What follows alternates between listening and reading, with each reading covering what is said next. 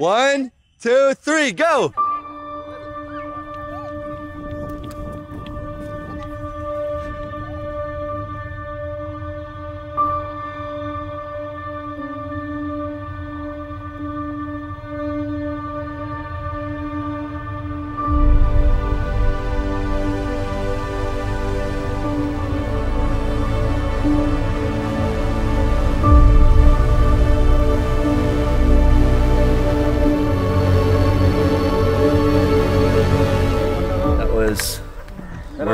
Back and forth. It was really, really revealing.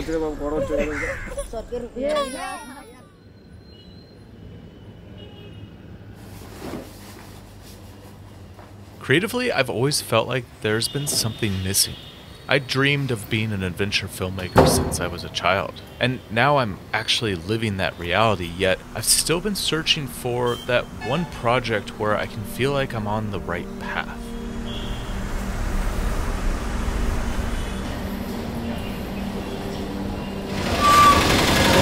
Woke up just just right in it. Like Yeah. where are we going first? We're going to the elementary school, so we're gonna go see where they're gonna teach a bunch of kids, uh, yeah, some lessons.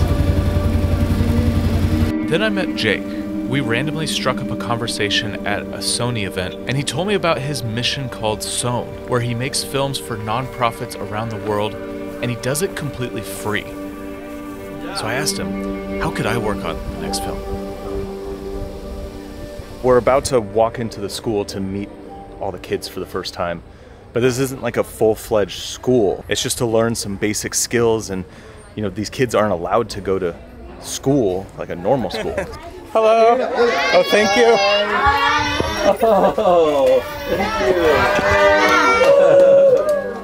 The story that brought us to India follows a group of 27 families that live in a landfill. In India, they have no rights, and the government doesn't even recognize them as actual people. They're called the Untouchables, and the organization Wings International works with these families. And by creating this film together, our aim is to raise enough money to buy these families a piece of land and give them a place where they can start farming so that they could start a new life. Hey, shoulders, knees and toes, knees and toes. Hey, shoulders, knees and toes, knees and toes. That's so it's it's kind of basic education. Yes, the children also not interested in education because they don't know what is school. So So- they don't even have a concept of school. They don't have any Go that concept way. of the school. Go school. that way. Go that way. Go that way.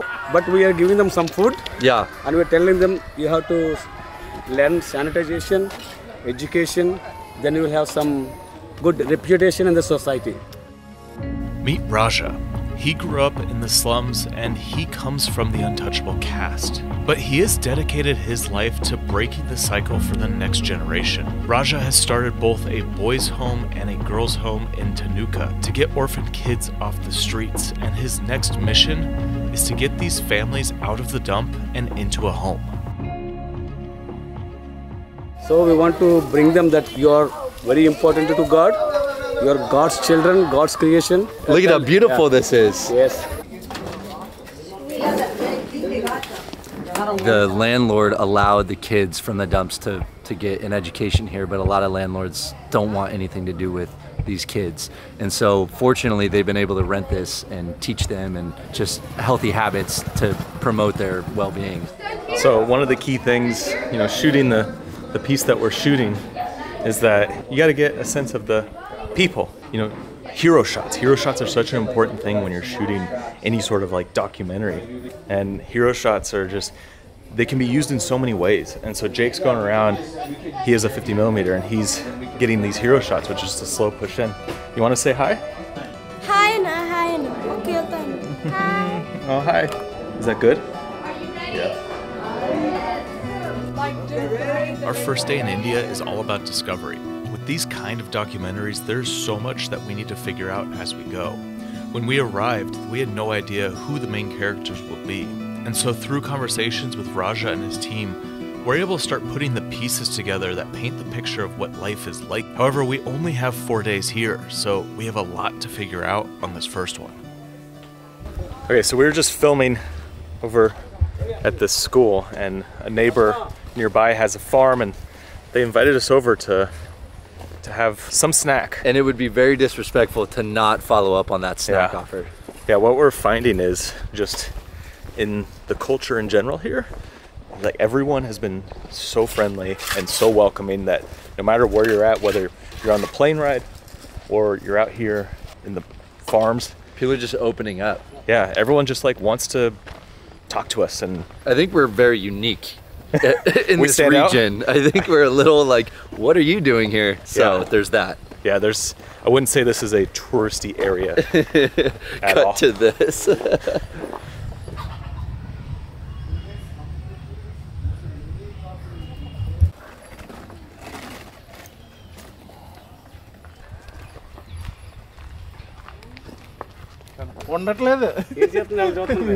which is Whoa.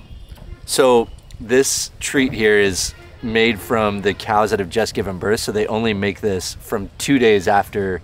Uh, first two days. yeah, the first two days after they give birth to a cow. So it's gonna be very good. has like lemon flavor. Is there lemon? No. Tastes like there's lemon in there. Um, that's uh, uh, yogurt. Oh, Not yogurt. Are these your children in the school? It's interesting. It's different. It's really good. school over there? It's just it's unexpected. Children. No. wait till it lingers in your mouth, then you really taste the fact that it's. We are not having that age milk. group of people. Oh, it's definitely cow's milk, but it's it's not cow's milk I've ever having very tasted. little babies. Small babies. Infants. It's good. It's different. Yeah, it's good. If I know nothing about the caste system, because some people, I asked last time I was in India, I said, "Is the caste system s- still a thing?" And he said, "No, no, no, it's it's not a thing."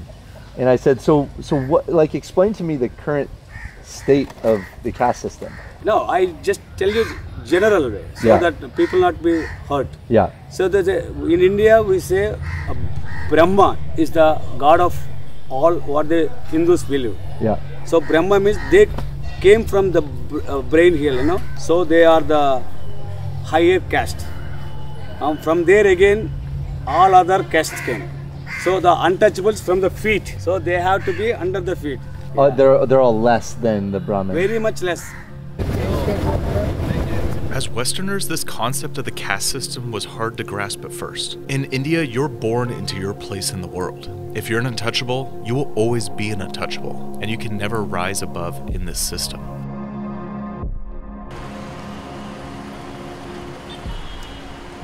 So turn more towards that way. Would he look this way? No, he would look right off camera this way. Right, So yeah. It'd be like that, and then, you know, lots of hands. And even if we had a second angle from over here, A closer. yeah, it Yeah. can be floating. And it's just kind of a nice soft light. I mean, the, the quality of light here is solid. Pretty wild to see all these kids for the first time and their stories. It's no longer a concept. It's no longer this idea of a story. It's their real life. Like we really want to have an understanding of what the problem is and what the solution can be from a cultural perspective of actually being in India and what it actually means, you know, for, for them. Like I wanted to know from Raja, is the caste system a thing? I've had some people who live in India say that's not a thing anymore, but to hear him say, no, I'm from the untouchable caste. It's very much a real thing. I live with it, and these kids are living with it. And so knowing that and understanding that was important for us as we're going out and setting out to tell this story because if we're going to tell that story, we have to know that story. And we don't know that as outsiders and as foreigners. So that was really important to like lay that foundation today, day one, to, to know, okay, what is the problem and how do we talk about it with respect? And making a story like this, I think the, the one of the biggest challenges is the unknown of walking into a situation and trying to piece together the story while we're here because we can come up with an idea of what we want for the story, but the reality is now that we're here, we can start to talk to the individuals that are going to become the subjects of this video and figure out where the actual threads are that we want to pull and the kind of story that we want to dig into a little bit deeper. And that's why having this first day where it's more of like the discovery day, we got to see them in their school, but now we're actually headed out to the dump where they live. And I think it's a, a good moment for us to be able to just interact with them and like talk to them and kind of see the situation before we're having to like turn on the cameras and just full on you know try to be crafting this story and be just thinking from a filmmaker's perspective because the reality is they are people they're not like actors There are going to be moments that we don't capture, moments of our interaction that are not on camera for you to see and experience because it's important for them to know that we're there with them in person and that we're just spending meaningful human time relating to them and connecting with them. They're not just a story that we're capturing. And so there are moments in between the moments that you're watching that lay the foundation of someone trusting you and giving you access and inviting you into their world uh, with confidence. Come here, come here.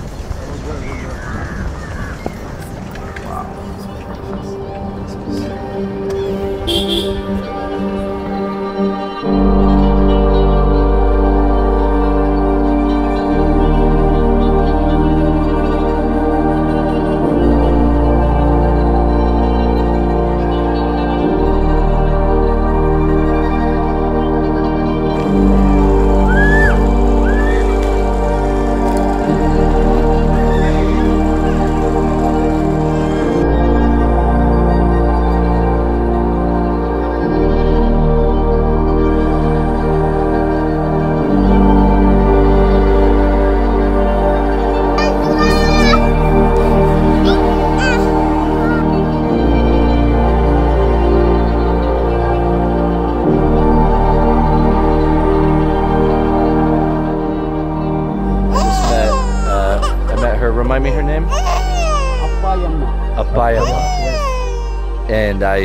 walked over to her, and she's got her little boy, and he's probably a year younger than my little guy, and so I started filming with them, and I was just really drawn to her and the little boy, and I found out that her husband passed away, and she has another daughter who's three years old, and so just something about her felt like I wanted to tell her story. They go to the trash every morning at 3 a.m. And so we're gonna go out with them and kind of see what that reality is like.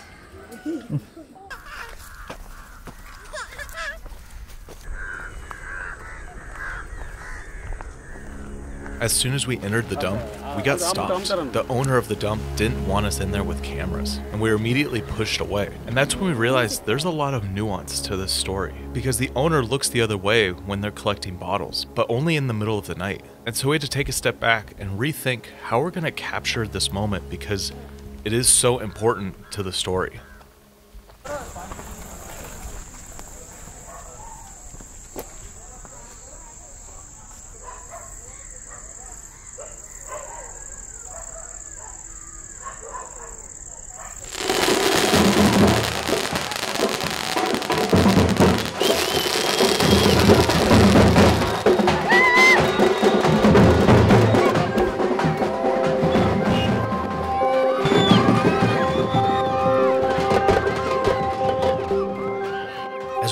To the hotel, we saw a celebration in the street. Jake turned to me and said, We need to jump out and film this, but our car already had stopped. The celebration wasn't random, it was here for us.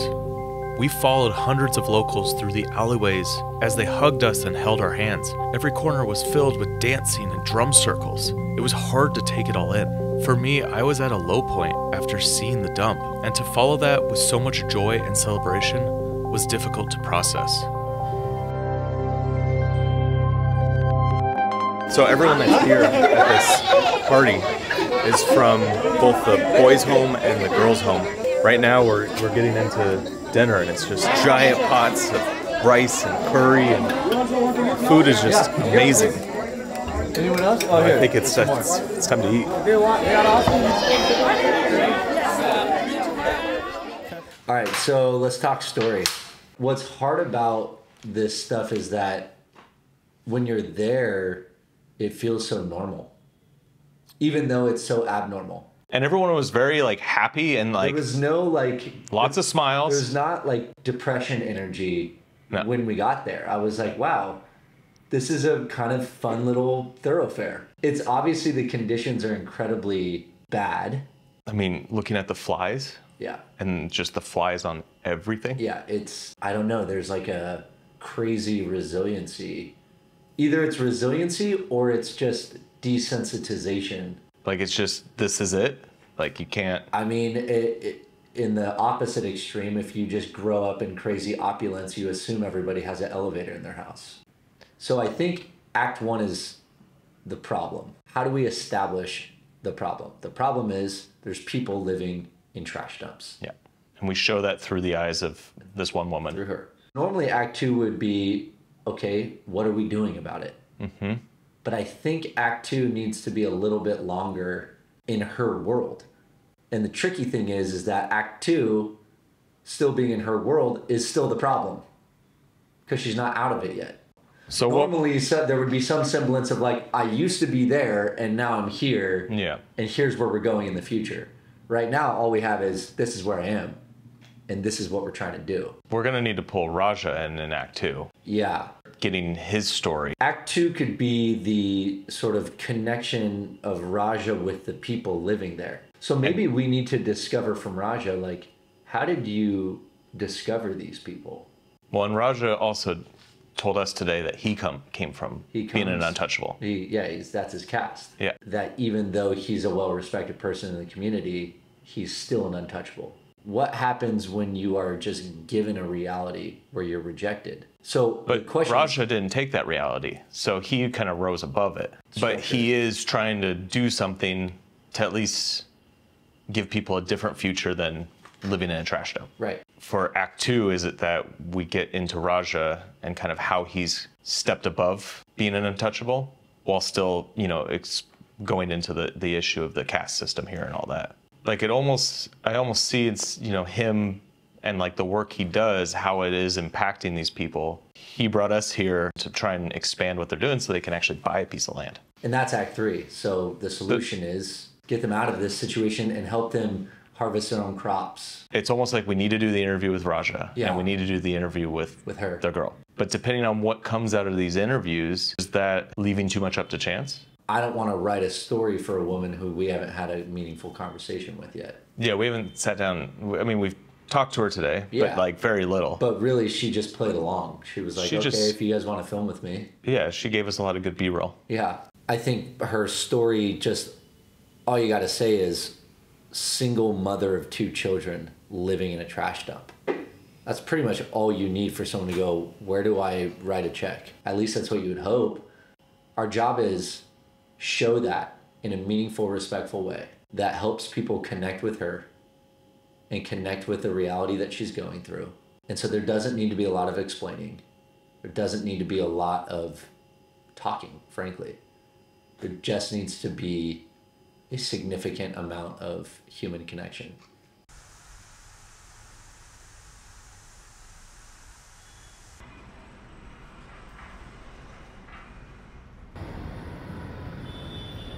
So today we're doing the main interview with Raja, and um, you know it's an important interview to get. And we thought that this space was going to be where we would do the interview, but coming in today, the lighting just doesn't look the same, and it doesn't have the same impact. Before it, it felt warm and it felt a little bit different, but now it's just very uninspiring, just not the best look. So, what's your thoughts on the interview? In there, it's, it's not the vibe. It's not the vibe. Yeah, we gotta go find something new. I think we go and we make it a more natural environment and we just find something that's pretty right now instead of trying to force what was pretty last night. Figure this out.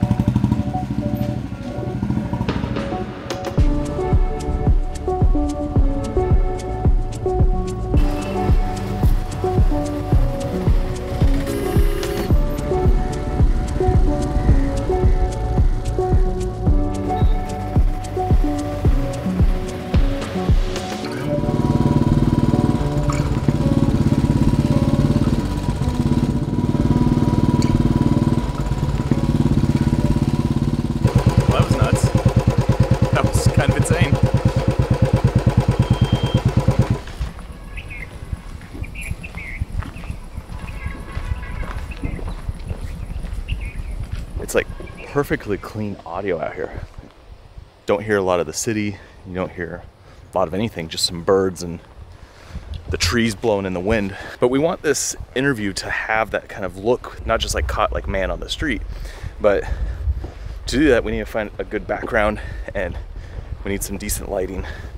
And what we're looking for is some shade, because ultimately having some shade with some texture behind will give us some nice natural light coming in from the sides. And that's gonna give us a good look for Raja rather than being in like direct sunlight where it's super bright. The sun is very disgusting right now, as you can tell on my face. It's pretty overhead. And um, so we found a little structure over here that apparently is a government building.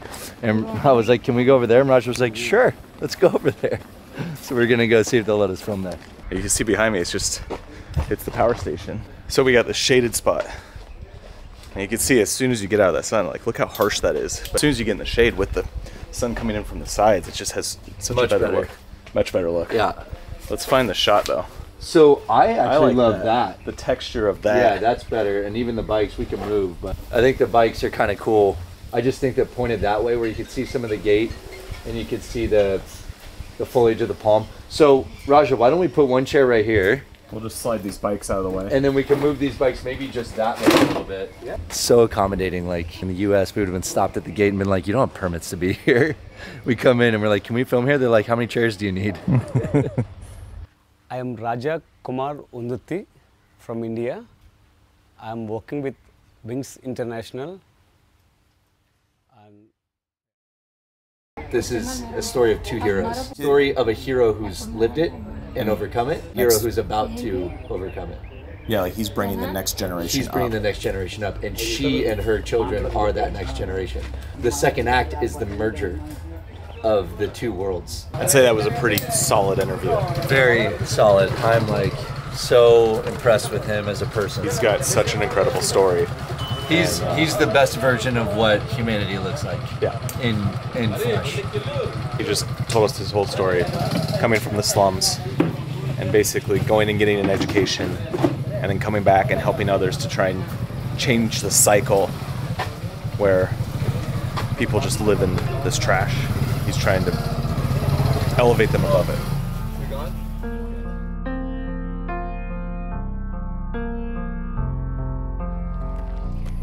What you're gonna want to get is some vitamin C enriched apple juice. It, I was surprised because I haven't had a box of apple juice in a very, very long time.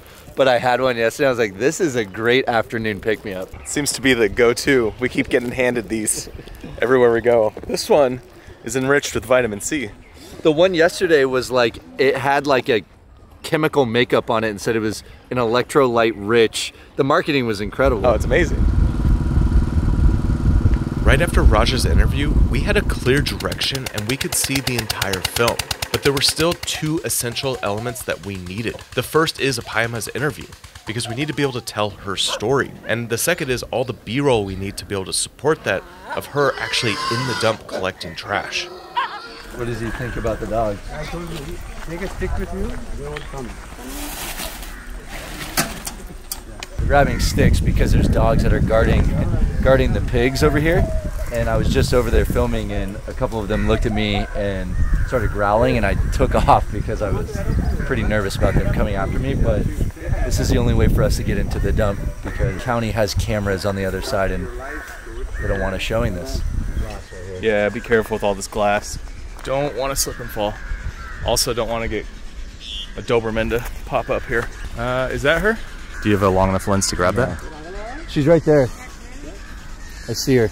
Apa Emma? Amma? Hello? Couldn't get any shots. Oh, wait, wait. there's Yeah. Someone. It's not totally acceptable what we're doing. They're not entirely happy with us. Yeah, they don't want us to be filming here.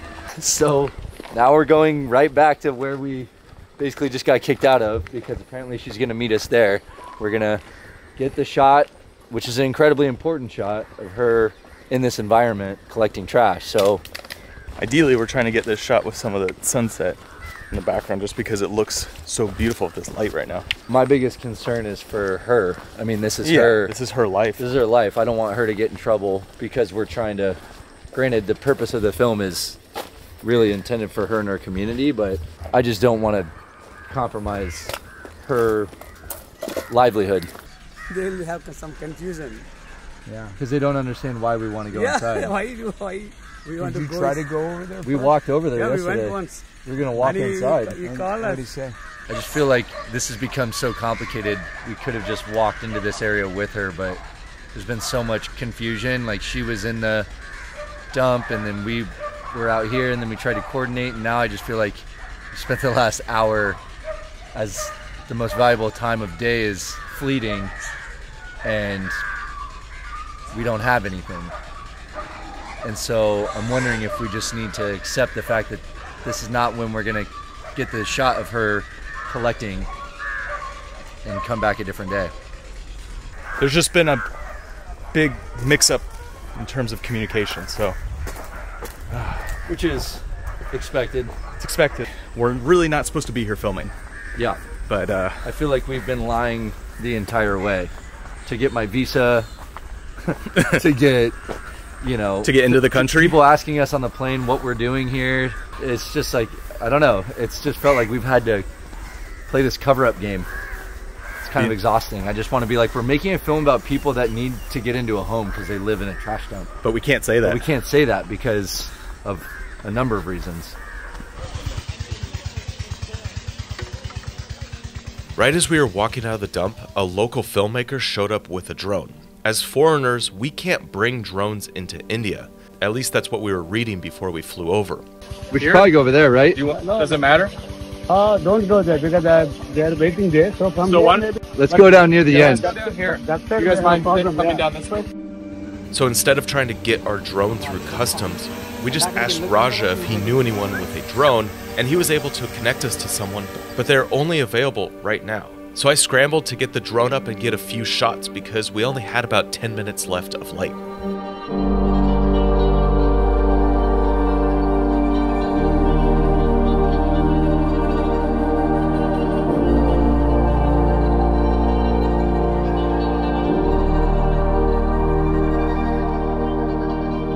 So during all the chaos with the drone and everything, my camera tipped over and uh, shattered my Black Pro Mist. It's just, uh, it's unfortunate because we've been shooting everything with these mist filters to give it that, just that quality where it feels like, you know, all the lights are blooming and it's really working for what we're filming here. And so to, to have this break, like halfway through the shoot is pretty tough. I'm gonna I'm gonna try to use it, but it's just we can't get other gear. Like just can't. So if you break it, well, it's done.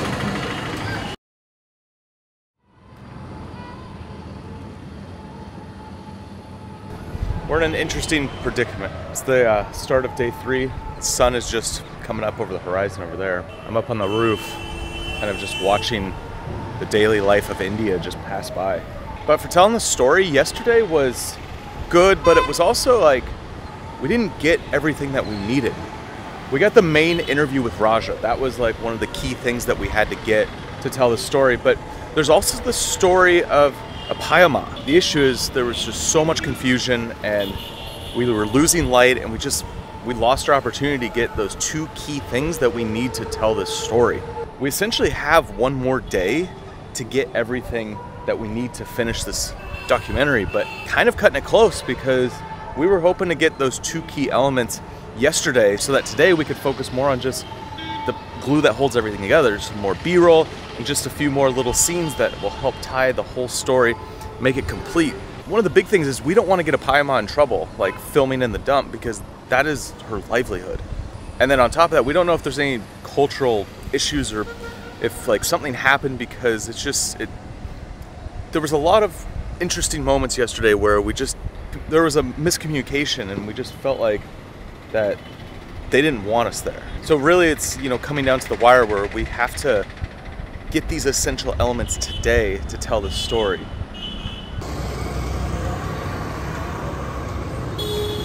Hello? Jake? How do you feel about this? Hello. About what's currently going on? I feel like there's a serious lack of communication going on. communication barrier of some sort going on. Lack of communication builds imaginary walls. Yeah. So this morning, what we're supposed to be doing is driving down to a beach. We're going with all the kids, basically for most of the day to go to the beach. We're gonna capture that a little bit for the story, but it's just gonna take most of our day. Uh, and unfortunately, like, you know, we're gonna be back hopefully for sunset to grab those last two shots. But this is just such a mess because we've uh, we've just been sitting here on the side of the road for half hour. No idea what's going on. Big lack of communication.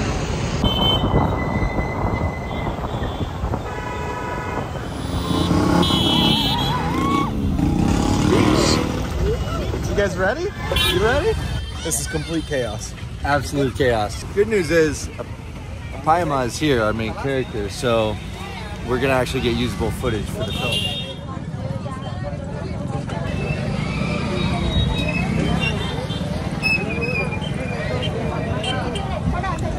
This is nuts. you talk about sticking out like a sore thumb? So we went to the beach and we found out that it's actually a Hindu festival. So we're right in the middle of absolute chaos. But it's kind of great. Everybody wants to talk. Where are you from? I was like, I'm from US. She was like, I don't believe you. I was like, okay. Uh, this is super overwhelming because every time we stop, just a big crowd forms. Everyone wants to take a photo with us, and uh, it's a it's a little much. And we're trying to say no out of like the desire to mitigate the amount of people that then go, oh, let's all take photos.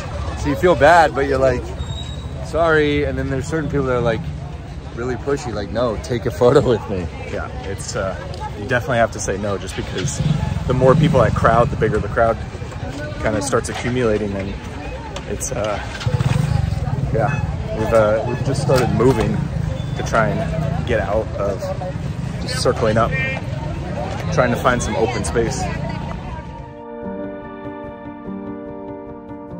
After about 30 minutes walking through the crowd, we found a patch of beach that was less crowded. The kids ran into the ocean and we filmed some footage on the 85mm that we might use for the edit. Overall, it feels like we lost a day of filming. However, when we walked back away from the beach, there was this really pretty light filtering through the palm trees. So we grabbed a bunch of the kids, did some shots of them running through the forest. And just as the sun was setting through the trees, we grabbed Raja. We were able to capture some essential hero shots with the perfect ray of light coming through.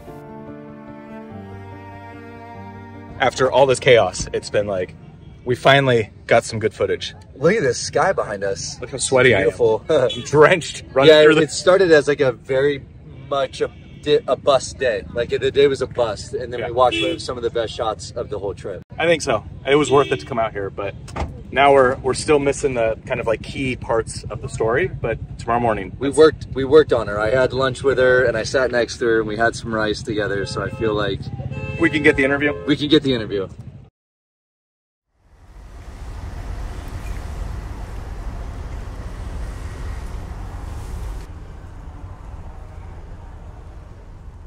It's uh, raining this morning.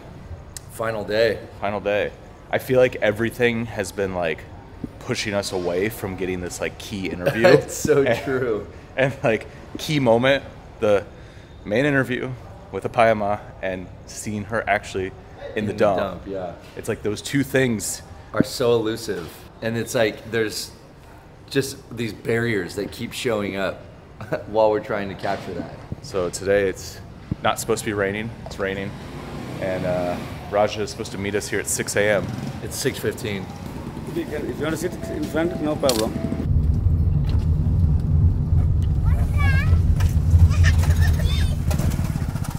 Found out that the reason that she felt uncomfortable is because the elders in the community thought we were journalists. They thought we were just coming to expose their living conditions. And then when they found out that we were here to tell a story to try and help change the circumstances, they sort of signed off on us being here. So now she's not uncomfortable being on camera with us.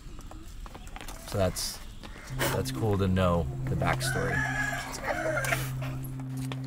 It seems like everything just came together at the last minute. The rain stopped, and with permission from the community elders, we snuck to the far side of the dump and began filming the key sequence to tell Payama's story.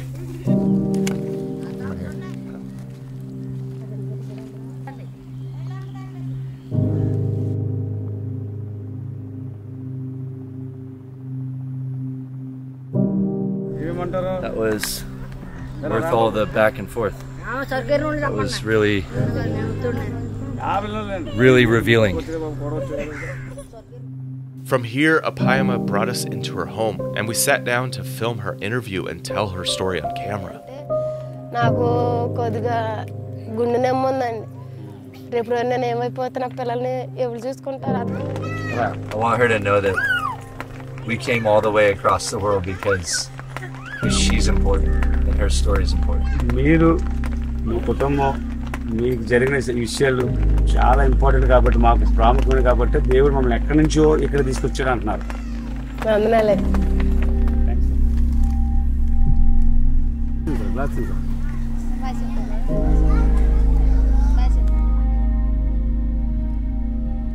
As we drove away from the community, I was thinking about a memory from back in college. A couple of documentary filmmakers came to speak about a film they had just finished that took them on this wild adventure, but more importantly, it shed light on an important topic. And listening to their story, I had told myself that I wanted to do that someday. And as we were in the car driving away from this community, I realized that we are those filmmakers. And creatively, this is what I've been missing. It's not only about making films and going on adventures, but it's being able to use our gift of being storytellers to shed light on important topics and potentially change the world for the better. Check, check, check, check. We got a film. Yeah. Yeah, it's crazy. We were just here in this airport five days ago. Packed a lot into four days on the ground. So we're gonna watch the film that we made right now, like in about a minute. But before that, if this is something that you want to do as a filmmaker, you want to go on these trips, you can through SOWN. Yeah, the whole idea is that as storytellers, as filmmakers, we have the ability to change people's perception of the world and move them to action. And so my mission is to connect filmmakers with nonprofits around the globe. So if you're a filmmaker who wants to be sent on an assignment like the one you just watched, reach out and apply because it'll be a trip either with me, with Jeven, uh, or by yourself with a small team of filmmakers to go do this and to try and create as much change as we possibly can with our cameras and with storytelling. I'll put a link down below in the description to where you can apply to go on one of these adventures and tell one of these stories and hopefully create some change around the world. But without further ado, Let's roll the tape. let's watch this film.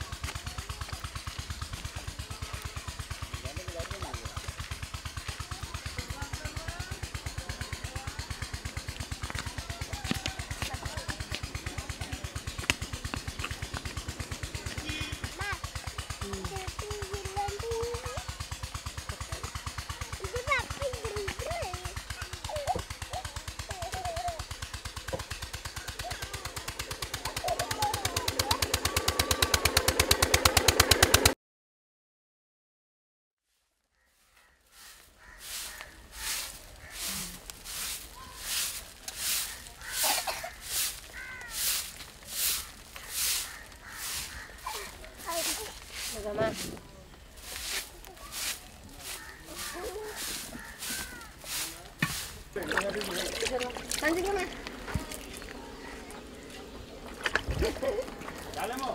అలా పెట్టుకోలే అందరూ విషయాలు అలా పెట్టి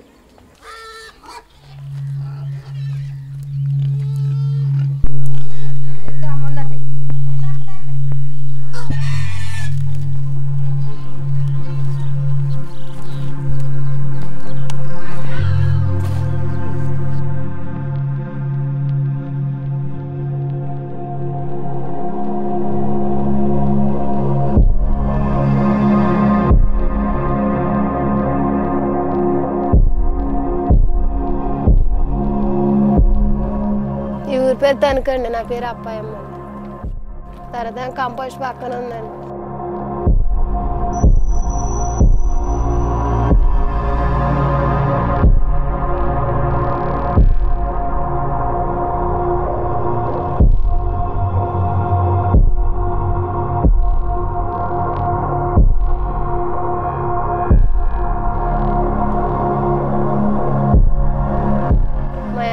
ఆయన చిన్నప్పుడే పిల్లోడు పుట్టిలో అప్పుడే చచ్చిపోయాడండి మా ఆయన. ఇంకా అక్కడి నుంచి నేనే పెంచుకుంటున్నానండి పిల్లోడిని. పిల్లని కానీ పిల్లోని కానీ నేనే పెంచుకుంటున్నాను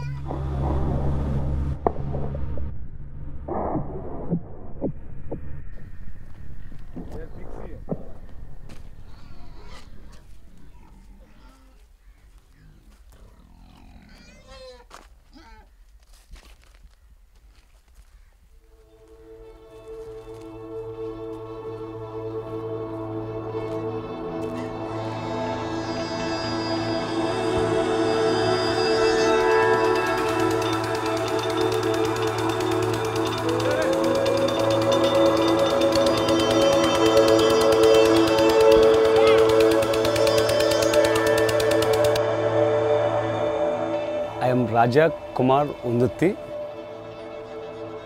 I was born in Islam. I had gone through so much struggles. In India, we are from the caste called Dalit and Untouchables.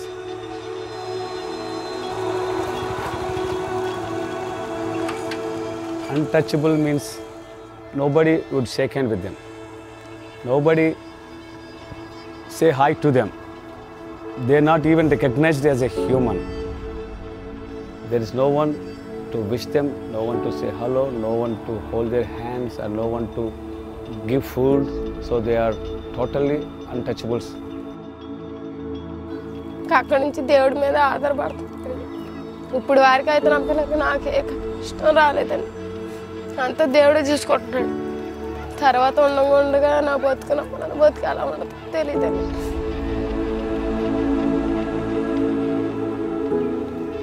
ఇదేనండి నా బాధ.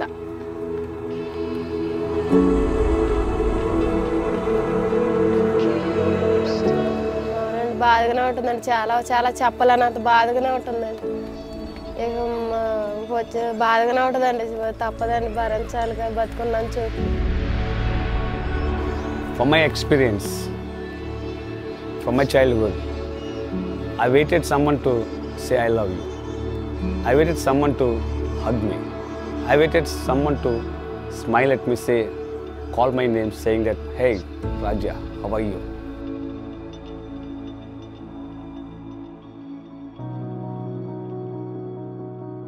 But since I got the education and I understand the importance of purpose of my life, so I am able to realize that I am born in this world with a purpose, with by God.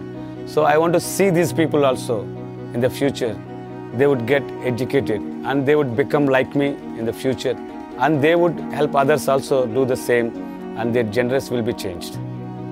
ఏరాగా ఏరాగుండి చదువుకొని ఏరాగా మన మాకు ఉద్యోగం గట్ట అవి తీసుకొచ్చుకుంటే చాలా బాగుంటుందండి they are trash collectors, the parents.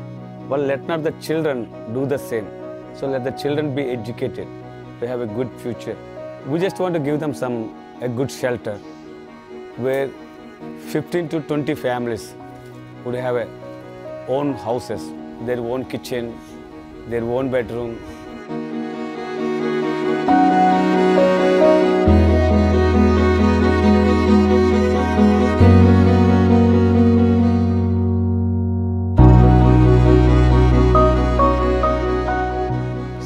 to help them that they are valuable, that they are not supposed to live like their parents used to live. So when we bring them to a new houses, then their mentality, their future, seeing that may change and there will be no more uh, called as trash people or dumpyard people. So we want to help them to realize the purpose of their birth in this world.